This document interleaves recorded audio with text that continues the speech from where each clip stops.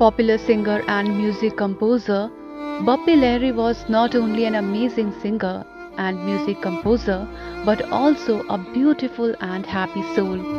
Bappi Da, who was popularly known as Disco King, left his heavenly abode on 15th February.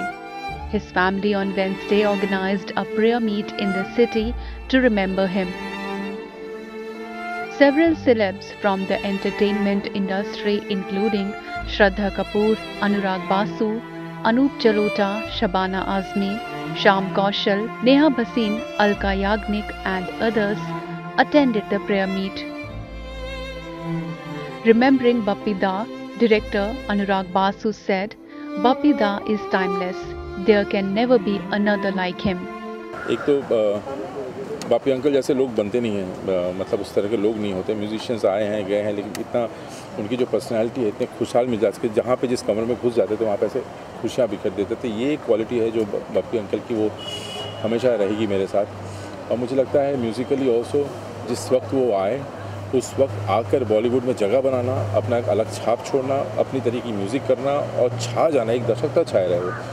बहुत बड़ा you know it's big thing नहीं होता इतना आसानी से। और मुझे लगता है बपीदा को सिर्फ़ ऐसा आजकल जैसे ट्रिब्यूट में हर लोग मैसेज कर रहे हैं कि you know disco king is no more and मुझे लगता है डिस्को तक बाँध के नहीं रखना चाहिए। वो बहुत विशाल थे। किशोर दा के कुछ बेहतरीन गाने जो है ना बप्पी दा ने दिए हैं। और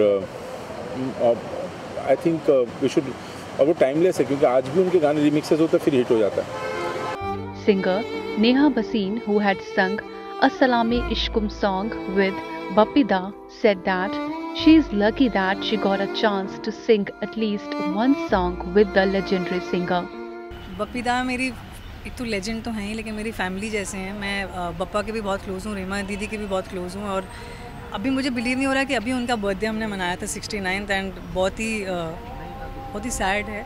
और बपीदा को हम हमेशा प्यार से याद करेंगे। मैं बहुत लकी हूँ कि मैंने उनके साथ अपने करियर का एटलीस्ट एक गाना गाया है और उन्होंने हमेशा मुझे बच्चे की तरह प्यार किया so I always have in in my heart like a father always Starting to wield the baton at the age of 19, Papi Lahiri has bequeathed a rich musical legacy in Hindi, Bengali, Telugu, Tamil, Kannada, Gujarati film, and a variety of Western Indian fusion music for his millions of fans worldwide.